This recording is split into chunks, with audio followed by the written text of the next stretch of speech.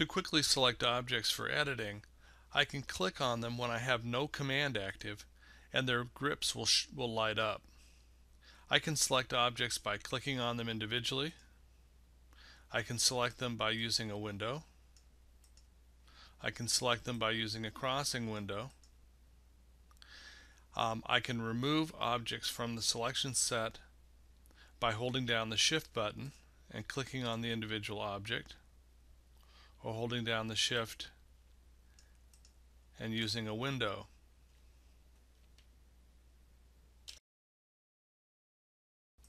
Once the grips are activated, uh, in their unselected state they're blue. If I hover over a grip, it will give me information about the object. In this case, uh, you can see that it's changed color and become a hover grip. Uh, the color depends on your setting. It could be green or it could be pink. And here it's telling me the radius of this circle. If I select this line, if I hover, it's going to tell me the length of the line and the angle that the line's drawn at.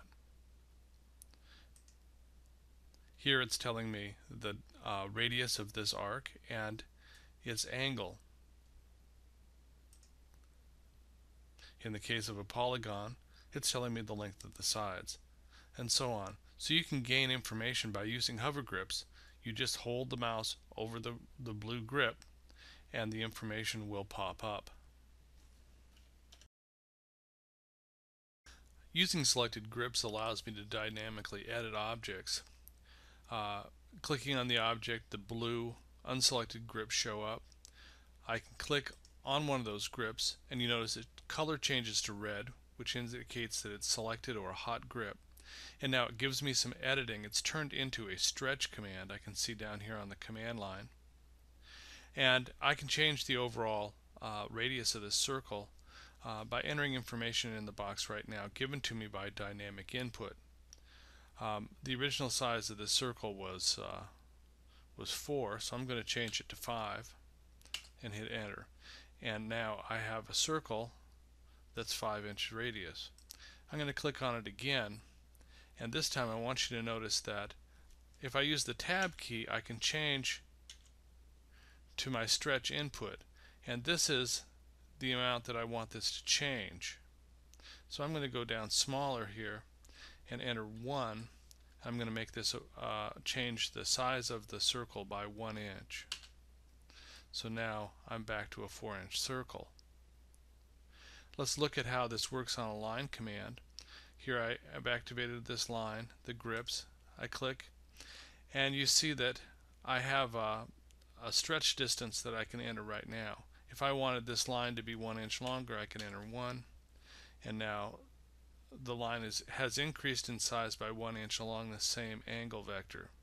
I'm going to click on it again and I'm going to tab over and I can increase the overall length of the line. So in this case I'm going to say 10. And notice that when I'm working with the overall length I now can work with the angle. I'm going to tab to the angle box and say that I would like this to be at 100 degrees.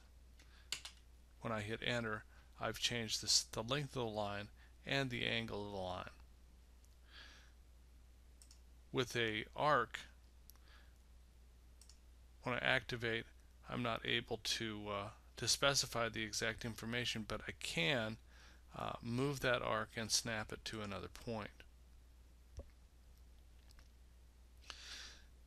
If I've selected an object and I have a hot grip active, I can turn off that hot grip by using the escape command. To turn off the blue grips, I hit escape again. So to completely deactivate uh, or cancel editing by grips, you hit the escape key twice.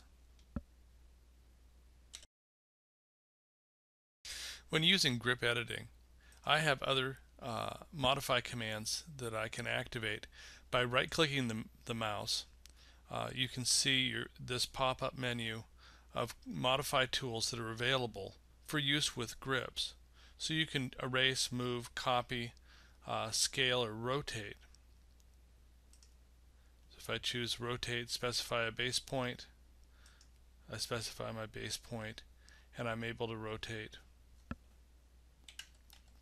30 degrees. Now this type of operation uh, is referred to in AutoCAD as being a noun verb uh, action set. And what that means is that it allows me to pick the object, the noun, first, and then select the verb or the action that I'm going to take on the object. The options for how um, grip editing and selection is set up in AutoCAD can be found on the options menu and if you go to selection you can see that you can change the colors that are used for the grips the grip size, the pick box size, and you can see that by default noun verb selection is turned on. If you were to turn that off you would not be able to select objects first before selecting the command that you wanted to activate.